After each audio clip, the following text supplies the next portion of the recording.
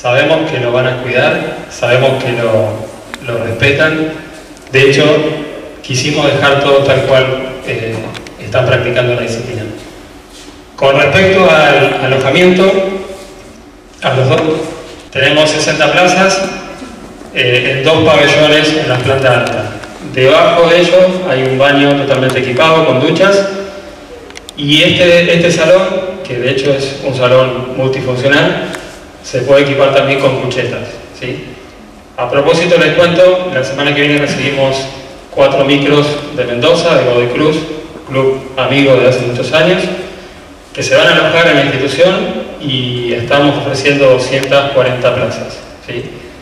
Los dormis, el salón Raúl Ferrari y eh, la casa de tenis. Así que para nosotros es un orgullo también. Casi dos meses y medio de gestión, eh, es imposible que matemáticamente hagamos esto, junto con vicepresidente Adrián Aroa. Gracias Adrián por acompañarme.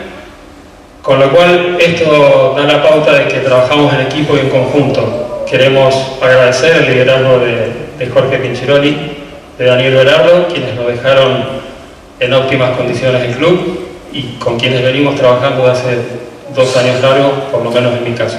Muchas gracias a ustedes también. Esta obra marca un antes y un después eh, creo yo que el concepto del club va cambiando, se va transformando. Hoy un club no es una simple cancha de fútbol ni una simple cancha de bocha. Hoy un club presta servicio a la sociedad, presta servicio a la comunidad. Hoy los chicos eh, necesitan un ámbito de contención también. Los deportistas alojarse en nuestra institución. Fíjense el ejemplo que les di anteriormente con los chicos de Mendoza no tiene que ocuparse del alojamiento, lo tenemos nosotros. Y bueno, de alguna manera ese es el concepto y el paradigma que cambia y lo que significa hoy un club. Quiero agradecer especialmente a los socios que son quienes nos mantienen, quienes nos acompañan. De hecho, en épocas de pandemia eh,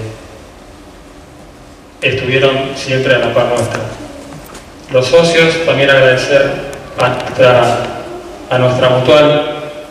Gracias Juan Carlos, gracias David, siempre son los primeros teléfonos que suenan, les agradecemos a ustedes. Queremos agradecer al gobierno de San Carlos Centro, gracias Juanjo por estar siempre atento a las necesidades. Gracias Rubén Pirola por tu, por tu aporte, por siempre estar presente en cada una de nuestras solicitudes. Y quiero agradecer especialmente a quienes estuvieron a cargo de esta obra, no solo a los arquitectos, Manfredi, Úsolo, también a los empleados del club. Nosotros, con nuestro equipo de gente, de empleados, hemos logrado terminar eh, esta obra así como la ven. Así que gracias, lo vi por ahí, Alexis, gracias Fabián, gracias Miguel por formar parte de este equipo, por, por hacer de esto un sueño, realmente es un sueño. Así que bueno, gracias por estar acá, gracias por compartir con nosotros. La verdad, un gusto recibir a los abanderados, es un placer tenerlos acá.